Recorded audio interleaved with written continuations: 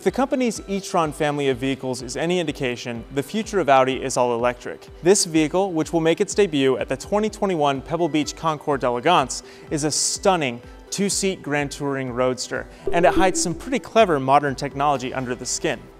Before I spoil any of that though, be sure to subscribe to the Motor One YouTube channel and find us on all of your favorite social media at MotorOne.com. The first thing you notice about the Skysphere is how big and imposing it is, and that's by design.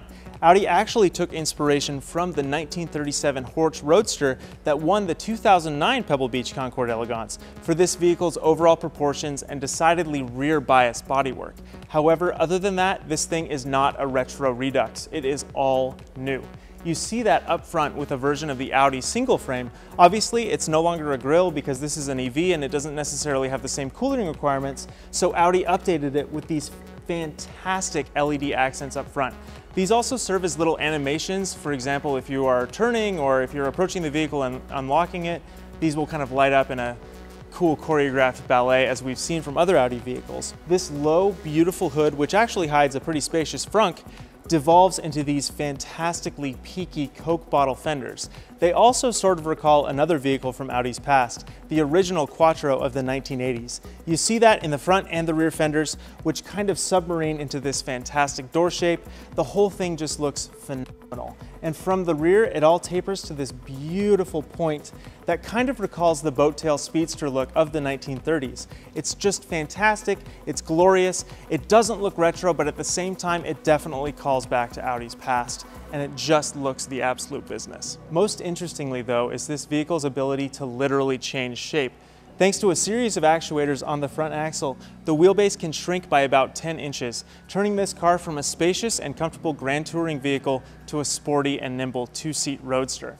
Audi calls this Sport Mode and the longer version GT Mode. What's more, GT Mode is also capable of level 4 autonomy, hiding the steering wheel and the pedals up under the dash to create a spacious and airy cabin. The interior of the Audi Skysphere concept is nearly as impressive as the exterior.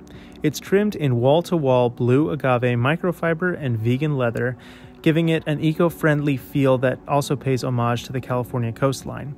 Sustainably sourced eucalyptus appears on the door panels, as well as intricate Art Deco details. A full width screen on the dashboard offers plenty of information, and the steering wheel and driver portion of the screen motor forward in sport mode to give the vehicle a more intimate cockpit like feel. The Skysphere is a bit unusual for an Audi, but very appropriate to the vehicle's 1930s inspiration. It's actually rear wheel drive, with a rear mounted electric motor sending more than 600 horsepower to those wheels.